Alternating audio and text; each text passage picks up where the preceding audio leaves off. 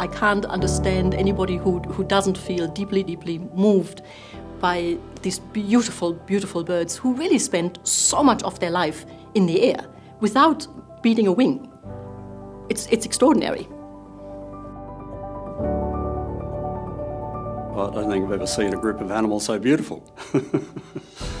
you could uh, see an albatross on a nest and it's so impeccable that if you, if you imagine if there was a small ant crawling up its breast, you think, oh, I must brush that off. It's just spoiling the image.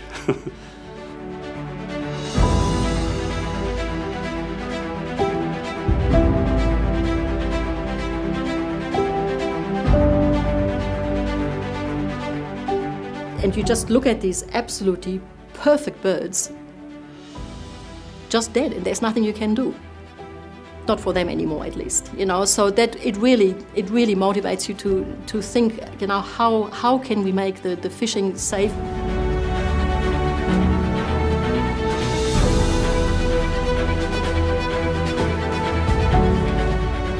when the small divers hit the water and they probably focus on a particular bait in front of them and, and, and follow it. But because the line is moving so fast, what they don't realize is that there is a hook behind them.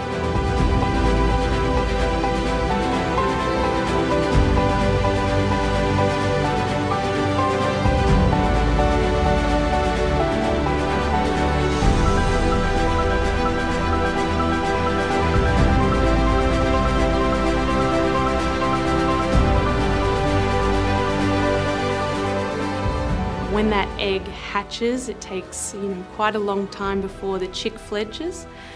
And it, that chick may be at sea for between 5 to 15 years before it will return to the colony and breed again. So any uh, increase in the population may only be seen between 5 and 15 years down the track.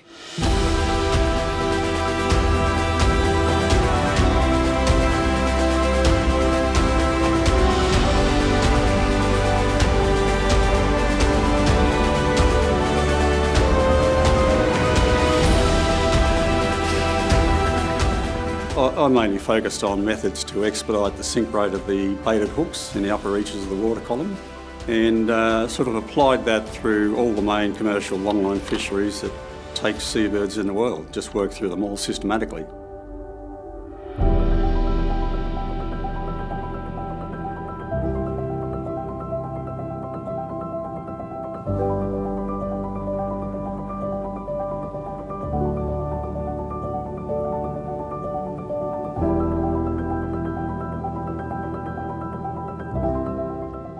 Longline fishery in the CCAMLR Convention area, that's the Southern Ocean, is albatross friendly and has been for a long time, and I'd say that's probably the global best practice. I can't think of a better example.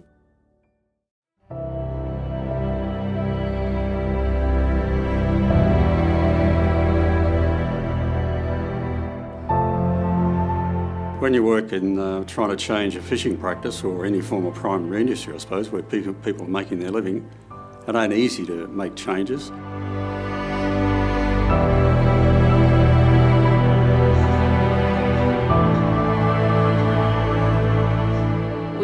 Albatrosses don't uh, abide by geopolitical boundaries and they cross uh, wide ocean basins. And so those threats are uneven through the ocean. And, and that means that we're not actually seeing huge improvements uh, at the breeding colony just yet.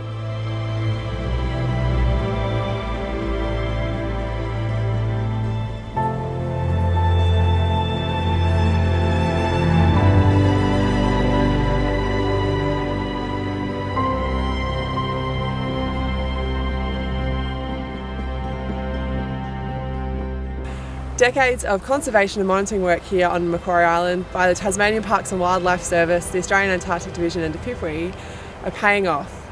Threatened seabirds have begun to recover here since vertebrate pests were eradicated on this World Heritage listed island in 2014. On Macquarie Island we have four species of albatross and lots of different seabirds and since the eradication the habitat for all these species has improved with the tussocks returning to the slopes and the vegetation growing The black-browed albatross that was listed as endangered is now considered to be of least concern. But these species still face threats because a large part of their life is lived at sea in places that are really hard to protect.